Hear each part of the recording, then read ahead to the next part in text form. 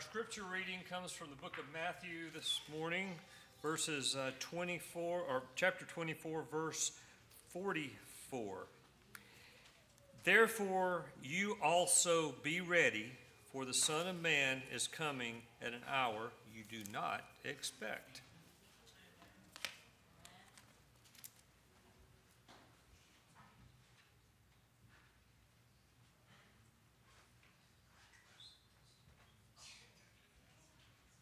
Again, happy Everyone.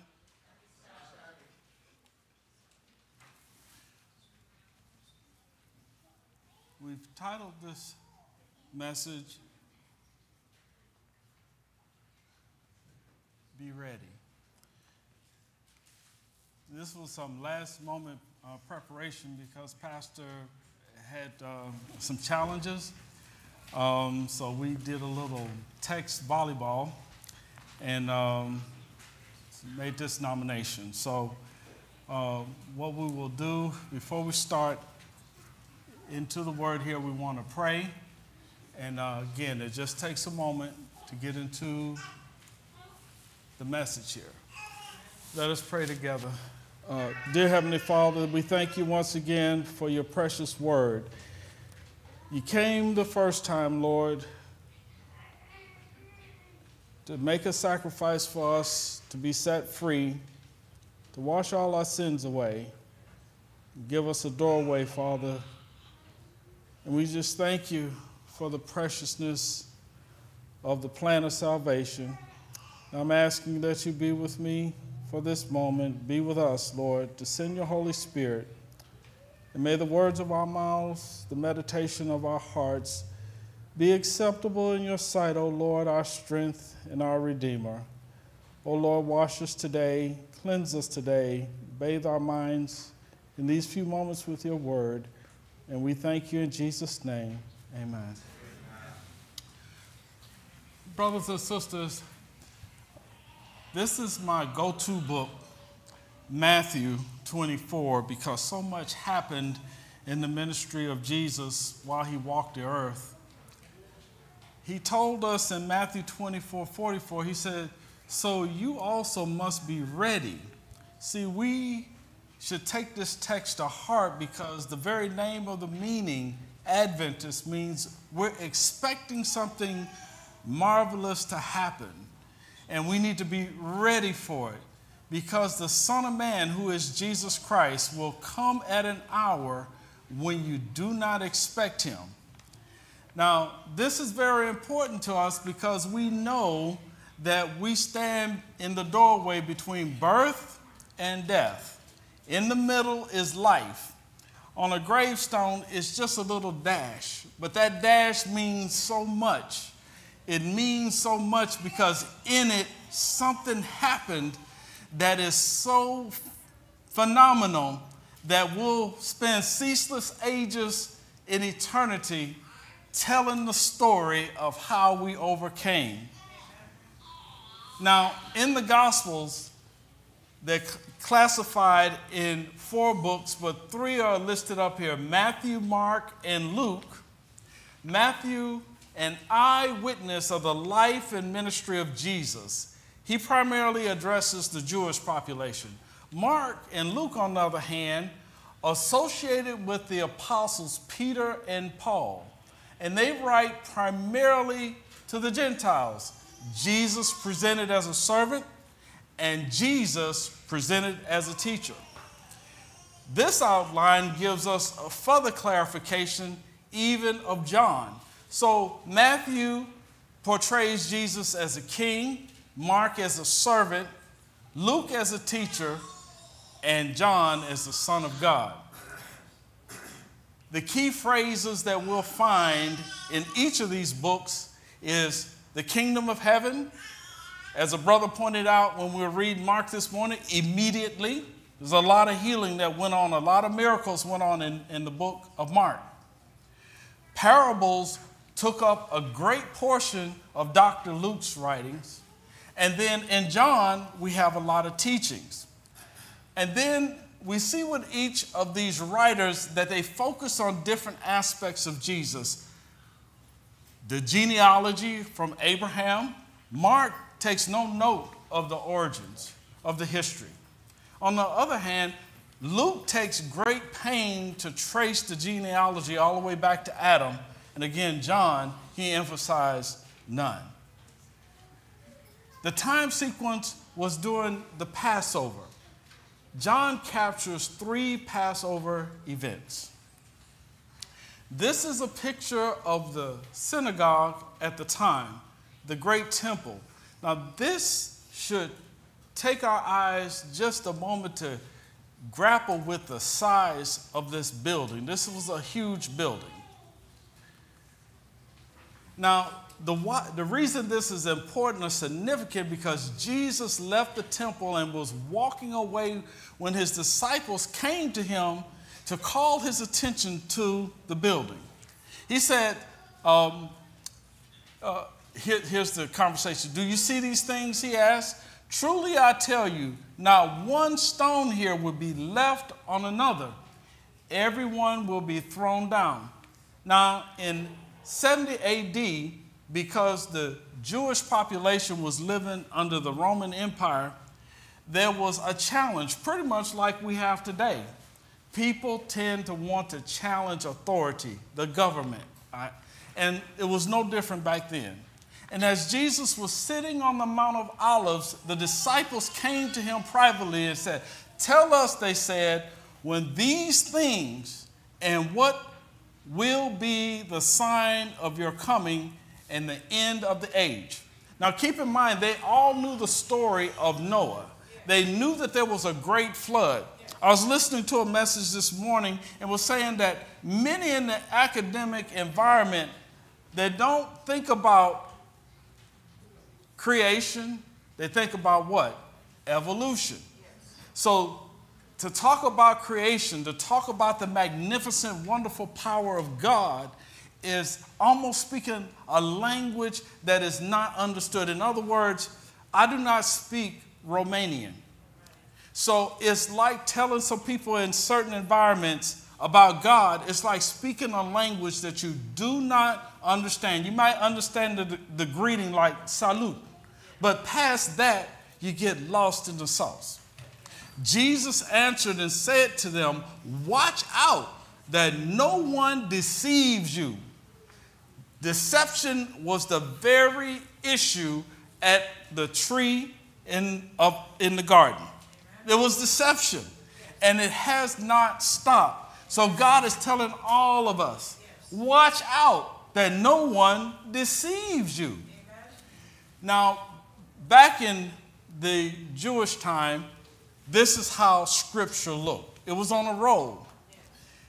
We have the preciousness of this Bible where we can turn pages. This is a whole history that went into Bible writing.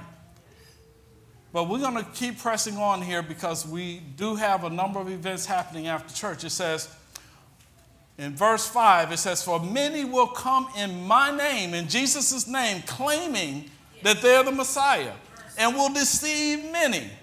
You will hear of wars. Do we know about that? Rumors of wars. But see to it that you are not alarmed. Now, I would say a lot of us have hypertension and a whole bunch of other issues just by watching the news between 6 and 7 o'clock. We get sick about it. But he says to us, but the end is still to come. Nation will rise against nation. We know about geography in a way that we never knew before. I never really understood where Ukraine was, but I know where it is now. Yes. Okay, so there's things that are happening that teaches us about this is real. Yes. Nation will rise against nation and kingdom against kingdom. The prophecies of Daniel coming to pass. Yes. There will be famines. Have y'all ever heard of that? Earthquakes. There are thousands of earthquakes that happen that don't even register. We see about a hundred of them that are shattering. I mean, off the Richter scale, six and seven magnitude in various places. There's earthquakes going on right now. All these are the beginning of birth pains. Any women here had a baby? Yes. You know what it's like to go through birth pains and the beginning of that thing is something else. Yes. Now, I'm going to tell you, I'm a man. I've never given birth, never will give birth, but I've been with my wife and given birth. The very beginning of that, I think for a lot of women, is frightening. But you have joy when the morning comes. Amen. You're glad when that baby, you holding that baby, and it's a healthy baby. Praise God for healthy children. Now, in verse 10, it says, At the time, at that time, many will turn away from the faith and will betray and hate each other.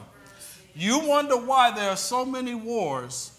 Many of the wars, at the very root of it, is religion. In Judges chapter 6, it says, And there was war in the gates. Why? Because anytime things are challenged, I can tell you a couple things that are cause a fight among men money, a woman that more than one man likes or loves, and religion. Now, you put those in any sequence, but if you trace all of the wars in the world, those three will be at the top of the list. And then we're warned, it says, and many false prophets will appear and deceive many people. False prophets saying, I got something for you, I can change something for you, and can't do anything because they're not connected with the power of God. Because of the increase of wickedness. Now, I must say again, have y'all seen wickedness lately? This causes the love of most to grow cold. Because people do not love the commandments of God. God is love. When people turn away from God, people turn cold. We even have a saying in the neighborhood saying that was cold blooded. But the one who stands firm to the end will be saved. And this gospel, this gospel that's found in the Word of God, Matthew, Mark, Luke, and John, from Genesis to Revelation, this gospel of the kingdom of God will be preached in the whole world as a testimony to all nations, and then the end will come. The reason this is so important because the gospel is being preached throughout the world. We have Adventist World Radio, which I talked about a little while ago, uh, Papua New Guinea, thousands of people baptized. In Rwanda, Africa, after the genocide, hundreds of thousands of people gave their life to Christ. People are getting baptized every day are joining the church every day around the world. So, when you see standing in the holy place the abomination that causes desolation, that's a big phrase. But when you see people leave this gospel and go towards another message, that is an abomination. Calling themselves or itself God or standing in God's place that is an abomination. And God said, when you see this, you know the end is nearing. And he tells us, he says, pray that your flight will not take place in winter or on the Sabbath. Now think about it. When he prophesied this, this was back in, in uh, AD 27 to AD 34, right in that window. The Sabbath is still present, but the world has an end, but he's talking about the Sabbath. So that means the Sabbath is still a matter of fact for God's people. It's a sign between us and our God. The very, very word Sabbath, part of that, B A T H, is like in, in, uh, in translation of Hebrew, it's an oath. It's like we're taking an oath for what he has set aside for us. We're saying, God, I believe what you said. I'm going to take this rest on this seventh day because you commanded it. Sabbath was made for man, not man for the Sabbath. Yes. What has happened in this world is Sunday keeping came about because man says, What? Our religious organization has more authority than the Word of God. That's the big controversy. It's either this or what man says. As for me and my house, we're going to serve the Lord. I'm going to choose this. I'm going to choose the Word of God. Then it says, For then there will be great distress Anybody experiencing distress? Unequaled from the beginning of the world until now, and never to be equaled again. In other words, if you're going under stress, distress, having anything going on between your head and your toe, it's because we're living in a time that causes great distress. The pharmaceutical companies are making a plenty of money because of distress. Hospital systems, prison systems are making a buku amount of money, got a large population, a line around the corner because there's great distress. Our court system is full of crime and criminals because of great distress. If those days had not been cut short, this is how you know Jesus is coming back because this can't go on forever. We got pollution. We're drinking micro pieces of plastic. It's either in our food or in our water. How long can a body consume something that is not healthy and live forever?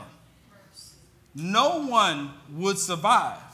We're here by the grace of God today, His mercies, the washing and cleansing of Jesus' blood, the mercy seat is why we are here today.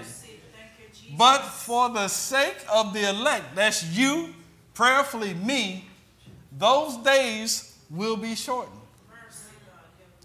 Now, here's how we know where Jesus is today.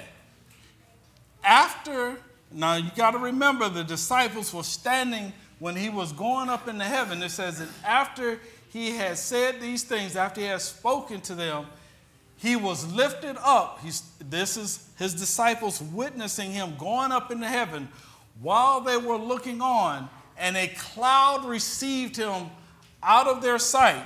And as they were gazing intently into the sky, while he was going, behold, two men, these are angels, in white clothing, stood beside them. They also said, Men of Galilee, why do you stand looking up into the sky? This Jesus, who has been taken up from you into heaven, will come in just the same way in other words, it's not going to be a private conference somewhere, not in a movie theater somewhere, not at a restaurant somewhere. You're going to see Jesus. Yes. As the lightning shines from the east to the west, Amen. so shall the coming of the Son of Man be. Everybody going to see Jesus. Yes. As you have watched him go into heaven, Amen. he's coming in like manner. Amen. Now, Focusing back on Matthew 24 29 says, But immediately after the tribulation of those days, the sun will be darkened, the moon will not give its light, and the stars will fall from the sky, and the powers of heaven will be shaken. Now, this is prophetic. This happened back in the 1700s. That's why you had the first and the second awakening, where the whole world was preparing for Jesus to come. And because there was a great disappointment, the Advent movement came about. Most of the people that were waiting on Jesus were Sunday keepers. There was not anybody keeping the Sabbath except for the Jews. But there were a people that studied the Word of God, and God gave a group of people the impression not just keep two commandments or four commandments, not five, not nine, but all 10. Yes. And one of those 10 that had been overlooked was the fourth Sabbath. Remember the Sabbath day to keep it holy. Six days shalt thou labor and do all thy work. Now, everyone here knows that people do a whole lot of other stuff on Friday night, Saturday, right? Yes. Sabbath time but they're doing other things other than keeping the Sabbath. And that's why your discipline and my discipline, discipleship towards Jesus Christ, is so important because somebody's watching. Somebody's getting the message, and one day they're going to sit down and ask you why you believe what you believe. Therefore, be on the alert, for you do not know which day your Lord is coming. See, we're not going to do this all the time, y'all. We're not going to sit here all the time. This, this thing is temporary. Yes. It's very temporary. It's like going to the airport and you're sitting there waiting on the plane, right? Yes. Eventually, they're going to call for that gate to open, yes. right? And you're going to walk up there with either your cell phone or your ticket, and you're going to get on board. And the door is going to shut, and that plane is going to take off. This plane is going to take off. And the prayer is you got your ticket through Jesus Christ. You're going to get on board, stay on board. So when he shows up, you and I can make it home. Says, Behold, he is coming with clouds. It's not going to be a secret thing. And every eye shall see him. Even those that pierced him, that crucified him on the cross, there's going to be a special, special resurrection just for them to see what he said come to pass. Yes. And all the tribes of the earth, whether you speak Spanish, Romania, uh, Swahili, uh, and I can go on and on. You understand what I'm saying? No matter what language you speak, what part of the world you're in, if you're in the Antarctic, the Arctic, whether you're at the east, the west, the Philippines, China, it doesn't matter whether you're in Nigeria or South Africa. Yes. It doesn't matter where you are, you're going to see Jesus yes. if you get up in that first resurrection. It says the tribes of the earth will mourn over him. What's that tell you? It's going to be some people crying, I heard the gospel and I didn't prepare, I didn't pay attention. But he says, so it is to be. Amen. Jesus is coming and we're preparing to go. We got to go, y'all, because this thing cannot last forever. Being sick is not a beautiful thing. Being in pain is painful. You got to get relief. And this thing that I know is that Jesus, God the Father, God the Son, God the Holy Spirit, they do not like to see anyone suffer. It's a direct result of sin. These are comparative texts Matthew 24 and 1 Thessalonians 4. Now, there's something that stuck out to me. It says in verse 31 in Matthew 24, it says, And he will send forth his angels with great, with a great trumpet, and they will gather together his elect from the four winds, north, south, east, and west, from one end of the sky to the other. Yes. And I thought about this text for a long time. And then I remember one of the first things I heard was what? Revelation 14, the what? Three angels' message.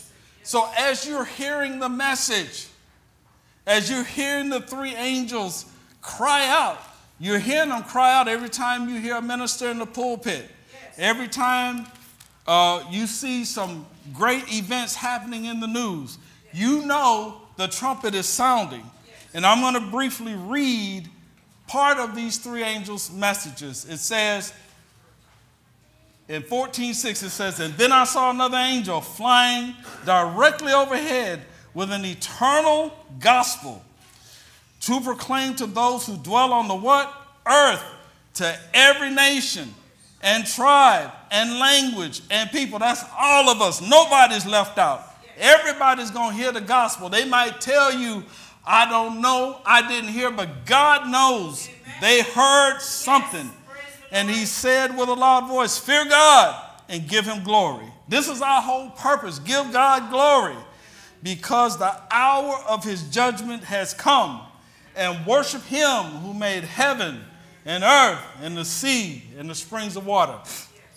We're hearing this, we're seeing this right before our very eyes.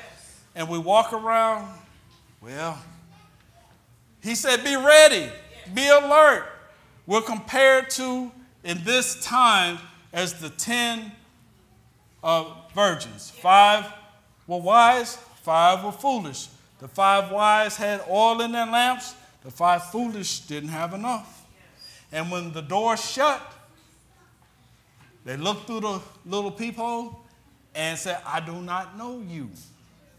We want to be known by God. We want our voices heard by God because we have a God who sees, He hears, He hears, and He speaks to our heart through His precious word. We do not want to miss out on Jesus' second coming. Why? Another angel, a second, follows saying, Fallen, fallen is Babylon. Babylon is confusion. Babylon is that people that walked away from God. They may have heard the word, but they decided to do their own thing. He says, She who made all nations drink of the wine of the passion of her immorality. And then this is the one that should catch us because this is the angel sounding. And it says, And another angel, a third, followed them, saying, with a loud voice, if anyone worships the beast and its image and receives a mark on his forehead or in his hand, showing loyalty in any way to anything that is different from the loyalty and being a disciple of Jesus, right? It says, he also will drink of the wine of God's wrath. So we're told that we have to make a choice. This is a thing of choice, and in that choosing, be ready. Maybe we don't know how to explain the 2300 days, but just like we were raised by our moms and or our dads, we know when they say yes and when they say no. Why? Because there's a consequence to following what they said. One morning, my dad came in to check on me when I was a little boy. He said, Bert, get up. And um, I told him no. I never said no to him again. yes, sir. I learned from right then and there do not underestimate the power of daddy. So, this thing is serious now because God is trying to get us to pay attention because He has blessings for us. And here's the thing that gets most of us we know we're weak, we're broken down, we toe up, we mad, Sometimes we get jealous. Sometimes we just plain old mean. And we need the grace of God. I know I do. Sometimes I say some things to people, and I have to remember I just sent that person a Bible text. And I got to follow through with that. So sometimes I had to get real humble. It's called being a servant of God. I said, God, what is that? Sometimes I got to listen, shut my mouth, and just say, Lord, help me. So in Ephesians, the Apostle Paul, who, by the way, persecuted a lot of people, a lot of people died as a result of his jealousies, if you will. But Jesus showed himself straight from heaven, shined light on him so bright he went blind. And after he gained his sight back, he preached the gospel. He traveled from one end of the Mediterranean to the other. And then he wrote in Ephesians 2, he said, for by grace are you saved through faith. Lord, I don't understand what I'm reading, but I got faith to believe that you're real. Amen. And that none of yourselves, I can't do anything to save myself, children. If I tried to go to heaven right now, I might be able to leap up maybe this high on a good day, but today I don't feel like it. But that's about as close to heaven as I can get on my own effort. I'm dependent totally on Jesus. And have you noticed the very, very, very rich, after they get everything, every car, every building, salaries in the billions of dollars, the next thing they want to do is go out of space. Huh? Go out of space. If you go out of space, the next thing they're going to have to send they're going to have to send a doctor, a nurse, a psychiatrist, a psychologist. Then they're going to have to send a preacher. They're going to have to send a funeral director. They're going to have to send, you, you get what I'm saying? we here, y'all, and we got to get ready to go by the power of God to heaven. Yes. Grace is power. It's when I say, God, I can't do no more. I'll either be at the club, I'll be at the liquor store, I'll be at the drug house, I'll be somewhere broke down trying to find a fix. But grace is power to say no to sin and yes to Jesus. Grace is the power of God that makes man adequate. In other words, Adam and Eve, they lost their adequacy in their own power to do right. God says, I know you want to do wrong. I know you do wicked and evil because that's what the devil is. He's a liar and a murderer from the beginning. And you, as a sinner, inherited that nature because we subjected ourselves through genealogy to that nature. But God said, I'm sending you grace is power of God that makes man adequate to do what? Fulfill the divine purpose for which man was created. We were not created to be in pain. In fact, we were not to see any inner parts of bleeding. We were not to know what the liver and the lungs look like. We were not to know what it is to have different kind of ectomies, and you can put in front of that just about everything you want. We were not to know what osis, whatever you put in front of osis. Those are medical terms that came out of the Greek dictionary. We were not to know those kind of pains and itises. We were not to know that. But because of sin, here we are. We have a healing God, and God commended his love toward us, and that while we were yet sinners, Christ died for us. We have the marvelous plan of salvation before us. And he says, What? Be ye also ready. This is our time, because this lifetime, a brother asked one day, Why is it so important now? Because this is it. Yes. No matter what age you are, from birth to my grandfather lived 102. Yes. That's your lifetime. That's it. Yes. We know people who die before they get double digit. We know people who die in their 20s, 30s, 40s, 50s, and 60s. At my age, I can name as many people above ground that I can remember their names as I know people in the ground with a tombstone over them of various tragedies, accidents, or whatever. It's real. It's not a, a, a happen situation that you come to know, oh, how about God's word? This thing is real. We're living it. And we have to encourage one another hang on, hang in there live this word, hold on by faith. God showed us love at Calvary. He took action to save us totally outside of our own effort. God provides 100% of salvation for us because He loves us. We are the remnant, survivors of the great tribulation, living in a new way with a new spirit, the Holy Spirit of God.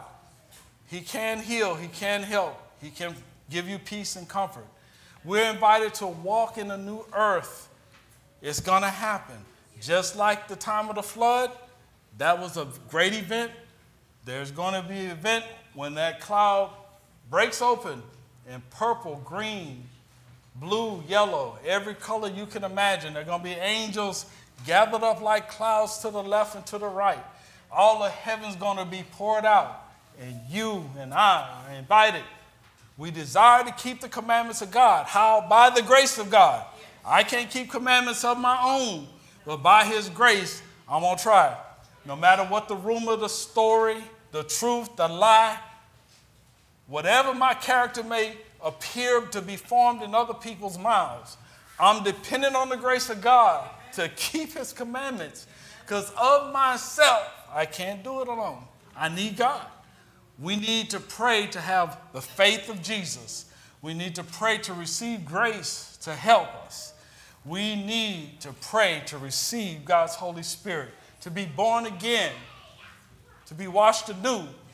And like the Apostle Paul, after all he went through, he said, But now of these things that move me, he said, Neither count I my life dear he loved the gospel of Jesus Christ. He loved Jesus Christ more than food. He said, I want to see Jesus. Dear to me, so that I might finish my course with joy and the ministry which I have received of the Lord Jesus to testify the gospel of the grace of God. The grace of God gave him power to no longer turn on his brothers and sisters, but to turn his brothers and sisters to Jesus.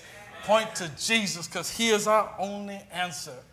And the question comes to us loud and clear, my brothers and sisters, sons and daughters of Christ, are you ready?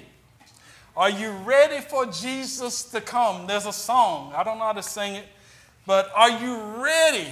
Are you really, really ready for Jesus to come? No man knows the day or the hour. The angels don't know. Only God the Father knows when He's going to say, That's enough. They can't take no more. They can't endure that pain anymore. They can't do any more wars. They cannot drop nuclear bombs on each other and people survive. They can't take any more plastics into their body. They can't drink any more polluted water. My sisters, this, I'm wrapping up now. My sisters were in Houston this past week. Many of us, we don't know what it's like to go tornado, hurricane after hurricane after hurricane. But when I go home, a lot of times people, whole houses just set out at the curb. Uh, cabinets, sheetrock, everything, just waiting for the garbage man to pick it up. Got to order some more. And so my sister, she says, Bert, she said, we're out of power. After a few days, everything that was in the refrigerator and the freezers was in garbage bags, six large bags of food. And that went on all throughout Houston. Two million people without power, losing everything in terms of perishable items. For five days, heat 80, 90, 100 degrees. When you go to a traffic light, you can't drive through because you got to stop. Wait for that guy. Stop. Horns honking and just chaos and confusion. Can't even walk the dog. Merchants could not process payments. You can't go to the grocery store because they can't check you out. If you don't have cash because their terminal's not working. Five days. I've got aunties and uncles in the 80s headed towards 90, walking on canes. You don't have to tell a person that's been in an earthquake or with their power off that there's something wrong.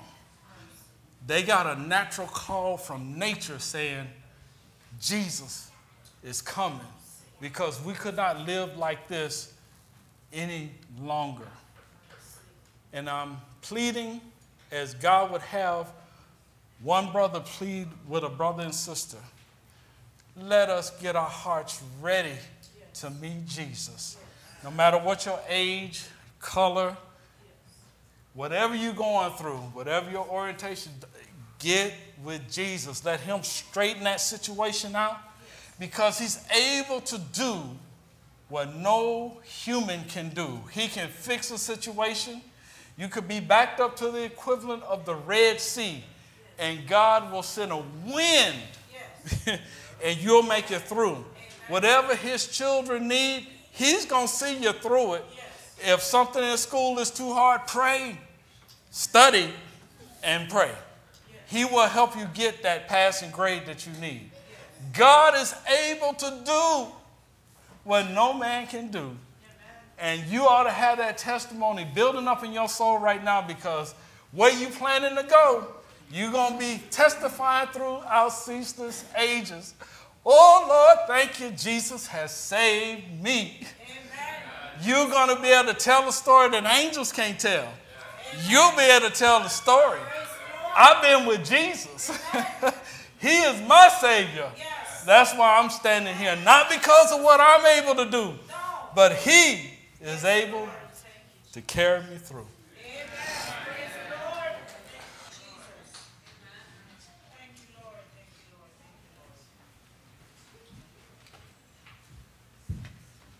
Brothers and sisters, Jesus is coming. Amen. And all our troubles here will be over with. Amen. What a comforting thought that is. Amen. But until then, my heart will go on singing. Let's sing this closing hymn, 632. Until then.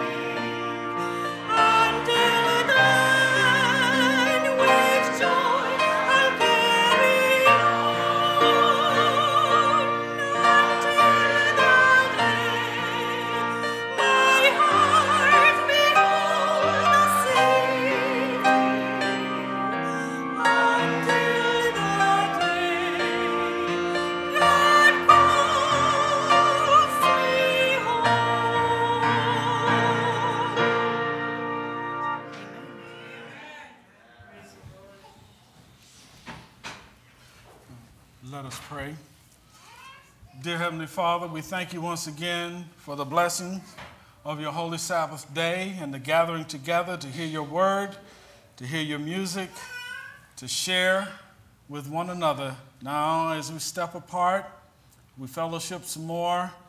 We go to our families. We ask that you will bless us, bless our families, bless our co workers. Hear our prayers, Father God. We need you desperately in these desperate times. And we're asking that you will be with our pastor and his family. Bring them healing, bring them back here to your people. Father God, somebody came here with a burden. Let them leave with that burden lifted. Let them go in peace. Let them know that there's a God in heaven that hears and answers prayers and that cares. Father God, we thank you for your marvelous love and grace. And you told us if we confess our sins, that you're faithful and just to forgive us and cleanse us from all unrighteousness. And we claim your grace today. We know that our enemy is trying to block the way to the mercy seat. But Father, we're going to keep pressing on until we grab hold of that mercy seat and realize the mercy, grace, and love that you have for us. We thank you. We bless your holy name. And for all those who have suffered through darkness and storms and problems, we ask for extra deliverance for them right now, wherever they are on the face of the earth. And thank you, Father God, for your marvelous love that you showed us through the power of the cross of Jesus. We shall always say, Thank you, Jesus. Hallelujah. It says, Every knee shall bow and tongue confess that Jesus Christ is Lord. And let it even be said out of our mouths today Jesus is our Lord. And we thank you for one another, and may we part from this place with the joy of the salvation that you have for us. It's in Jesus' name we pray and bless your holy name. And amen. amen.